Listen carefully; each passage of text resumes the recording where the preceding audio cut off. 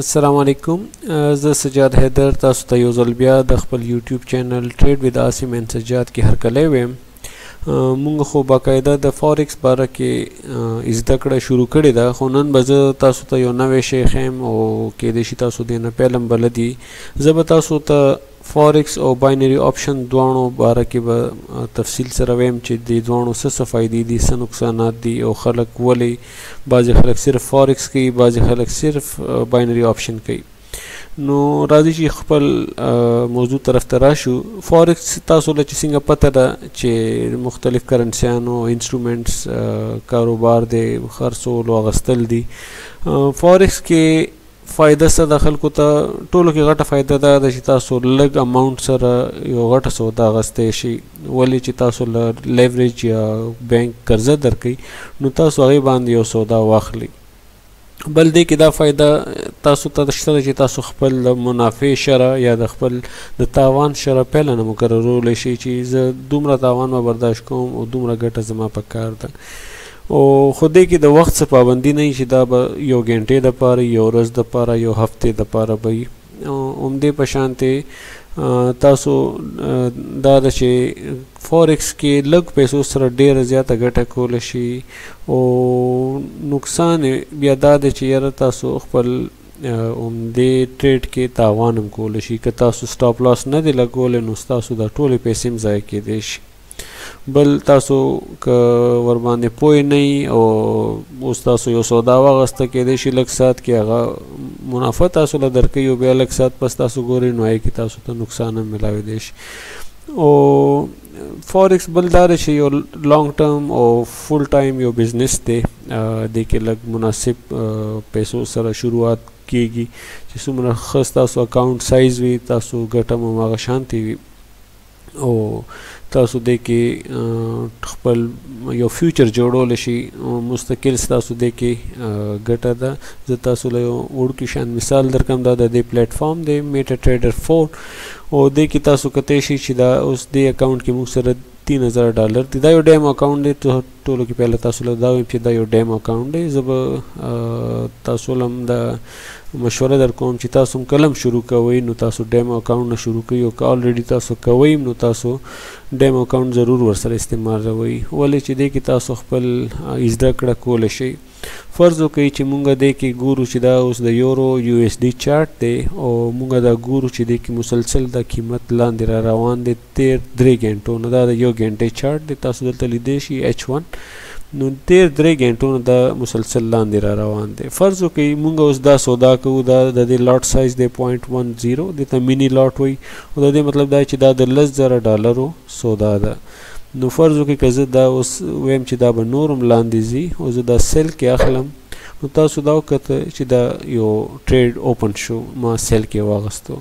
اوس دلته زه تاسو ته دا خول غواړم چې دلته دا مارجن تاسو وګورئ نو دا یو سل دویش ډالر موږ نه کټ شو اوس ما څنګه چې تاسو ته ویل چې دا د لس زره ډالرو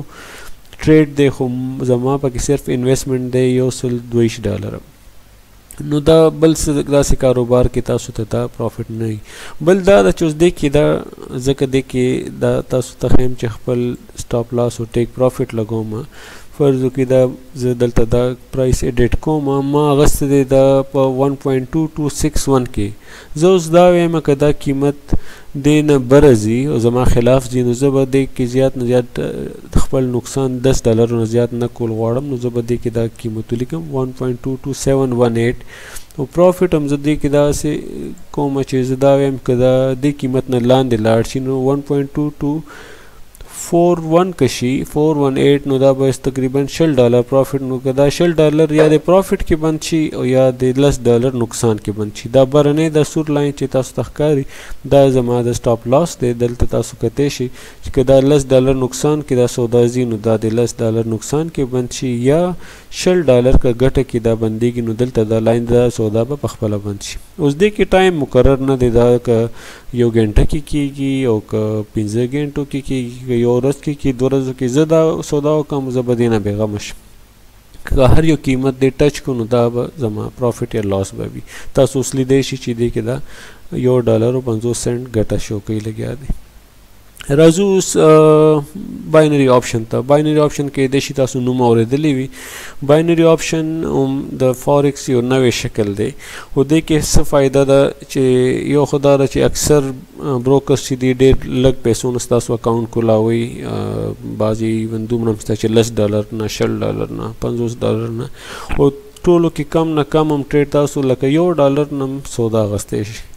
دې کې څه فائدہ ده چې دې کې مختلف تاسو له ټایم هغه دي تاسو پکې د 15 منټو 10 منټو 15 یوند د سکندو د یو منټ د پاره یو ټریډ غستې شي اوس د کې څنګه وی چې د کې فرض کې تاسو وای اوس دا هم د یو اس ډي جي پی وای دی امریکن ډالر او جاپانیز ین کرنسی ده زه دا ویم که دا اوس دوه منټه پس یا زه دا یو منټ پس ویم چې یو منټ پس به دا قیمت دی موجوده قیمت نه برځي او دا زه یو ډالر دی کې انویسټمنټ کوم او دا ما کال بټن دباو کو دا اوس یو ټریډ کولاو شو نو که دا هم د یو منټ نه پس د موجوده قیمت نه دا بره که بند شو نو دا به زما تقریبا 0.81 سنت دا به زما ګټه شي او که دا ګټه ونه شو نو دا به نقصان کې بند شي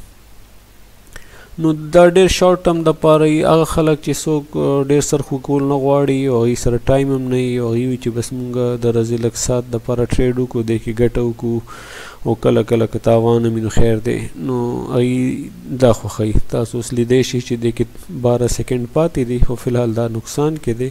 خو چې دا اخیری سکند پورې به موږ ته پته لګي چې دا اوس دا اوس تاسو کته شي چې دا گرین شو دا خی چې دا پروفټ کې دی او دا دی دا د بند شو خو دا اوس وګوري دا ما قیمت کې بند شو چې کم کې موږ غستې او نو دې کې نه ګټه او شو نه تاوان شو دې کې یو دا آپشن هم راشي فرض وکړئ زه ستاسو صرف پوهې دپاره دا ټریډ دوباره اخلم زه ویم چې دا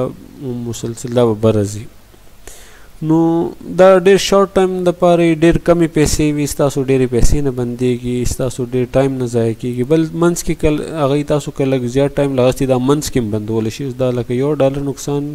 ټوټل ټایم نه پس دی خو که هغې منځ کې تاسو ګورئ دا اکتیس سنټ دی ځکه دا دلته بند کړم نو دا اکتیس سنټ کې به صرف نقصان کې بند شي او که کله دا لږ زیات بره تلي نو ګټم دس بیس سنټ تیس سنټ یا چې څه څومره تاسو ټریډ اغستي نو ډیر خلک اوس باینری آپشن کې لګیا دي یا ټریډ کې لګیا دي ما چې څنګه تاسو ته ویل چې دا ډیر کم پیسو نه شروع کیږي دې دپاره وخت هم ډېر کم پکار دي تاسو ورځ کې چې کله مزګار یې نو نیمې ګنټ دا تاسو وګورئ دا اوس دا نقصان کې بند شو یو ډالر لاس شو دې کې ټولو کې غټ نقصان دا دی چې دا ټایم بیس دی نو هغه ټایم چې کم دی باندې تیر شي هغه کې که د یو پیپ هم فرق نو تاسو به نقصان وکړئ فارکس کې دا چې تاسو لیدای شئ چې فارکس قیمت چې کله بره ځي یا لاندې ځي دا یو خاص ترتیب سره ځي فرض وکړه که لاندې هم راغلي نو بیا واپس راشي تاسو انتظار وکړئ یو ورځ دوه ورځې کله هفته هم ورته انتظار وکړئ قیمت به واپس راځي تاسو لیدای شي دا قیمت کله بر راځي کله لاندې راځي نو که فرض وکړئ تاسو یو سودا وکړه هغه نقصان کړي نو څو ورځې پس هغه واپس ګټې ته راشي خو باینری آپشن کې دا چوایس نه هغه لک شارټ ټرم زیات خلک کوي اگر چې چې دې کې د ورځې بیا شته دی د هفته یا د میاشتې شته دی خو دا زیات هغه خلک خوښوي چې چا سره وخت کم وي او لږ وخت د پاره کوي خو ګټه پکې دې کې زیاته ده تاوان هم پکې همداسې شته دی بعضې خلک داسې دي چې ټوټل لس ډالرو نه شروع کی او د ورځې درې څلور ډالر پې ګټي بس ای دې سر خوشحالی بعضې خلک پکې پنځه شپږ سوه ډالر واچي نو د ورځې لس شل ډالر ګټي ای دې سر خوشحالی دې د پاره د تجربې او د تعلیم ضرورت دی فرض وکړئ زه به تاسو ته د دې باره کې رهنمایي پکاري نو زه به باینري آپشن باره کې مکمل تاسو له تفصیل خیم چې دا به سودا څنګه کوي د دې سس ضروري انډیکیټرز دي چې هغه سره تاسو صحیح سودا کول شي کم ټایم فریم زیات خده نو دې باره کې وزه تاسو ته مکمل تفصیل خیم کاینلی تاسو کمنټس کې خپل رائے ضرور لیکئ او بل زموږ د چینل خپل ملګرو سره خاص طور سره پښتنو ملګرو سره دا شیر کړئ چې زیات نه زیات پښتانه د فیلډ ته راشي او الریډي ډیر خلک لګیا دي د فیلډ کې خو چاته پته نشته بل یوټیوب باندې ډیر د پښتو معلوماتي فورکس او باینری آپشن باره کې څه معلومات نشته نو دا یو ښه موقع ده زموږ هم حوصله افزایي کېږي ستاسو سبسکرپشن سره او لایک کولو سره یا کمنټ سره او تاسو د څه نه څه صورت کې به د دې معلومات ملاویږي زه به انشاءالله بل یو ویډیو کې بیا د دې دواړو باندې بیا مکمل تفصیل سره خبره کوم هغه پورې تاسو خپل ډیر خیال ساتئ او انشاءالله یو ډیر زر دوباره بل ویډیو سره ملاقات کیږي الله پامان